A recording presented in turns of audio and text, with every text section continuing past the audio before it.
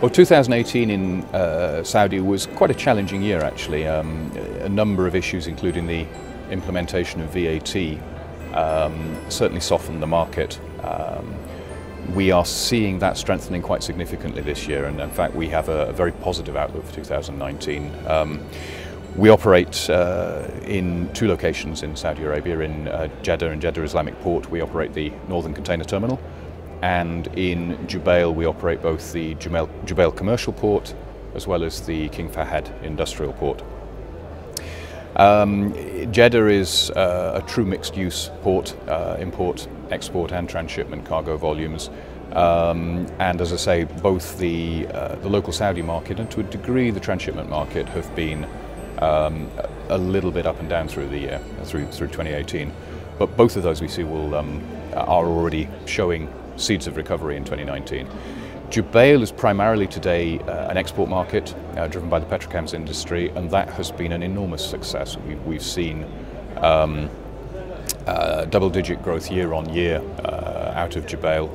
Um, we are on an ongoing drive now to promote uh, imports into Jubail, where we're getting a lot of support from the lines as well, who'd like to see a, a better matchback of their equipment coming in and then being used laden out again. Um, so one of our main thrusts through through 2019 will be to to develop that side of, of Jubail's business as well. And as I say, in actual fact, that through 2017 was very strong, and in fact we've had a long period of, of, of good success, a combination of primarily, frankly, great customer service um, and uh, a real focus on operational excellence.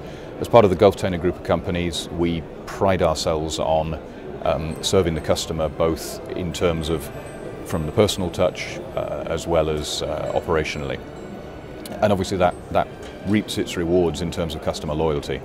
So even as we've seen uh, a number of changes in services uh, coming into the different terminals in Jeddah, what we're finding is that the cargo owners themselves, because they appreciate what we do for them on the land side, um, have remained uh, very keen to continue working with us in NCT.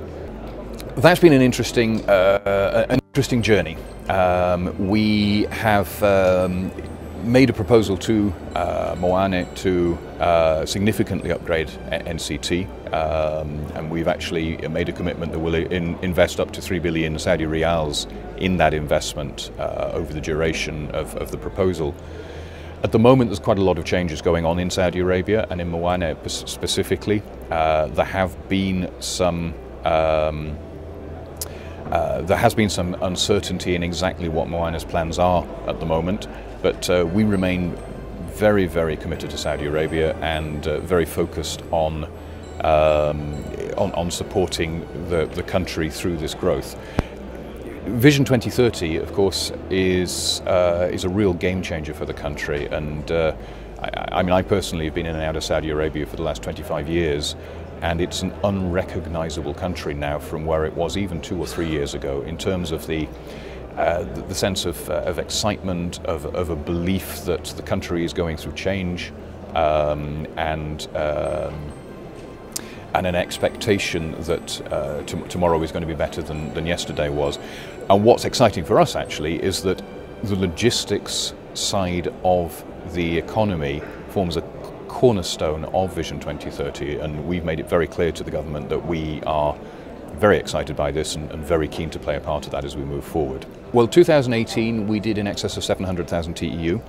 Um, that was um, somewhere in the region of 4 to 5% growth uh, over the previous year. Um, and um, those numbers are slightly uh, they mask the reality because what we're seeing actually is as the import growth is is improving then what we're seeing is there's a, a corresponding reduction in the repositioning of empty containers for to serve the exports because it's such an imbalanced port so the, the, the underlying figures are in fact better than that no, as I say, I think the, the, the important thing, uh, having an event like this here in, in Riyadh is great. I think it's, it's wonderful for the, the country to be able to showcase itself.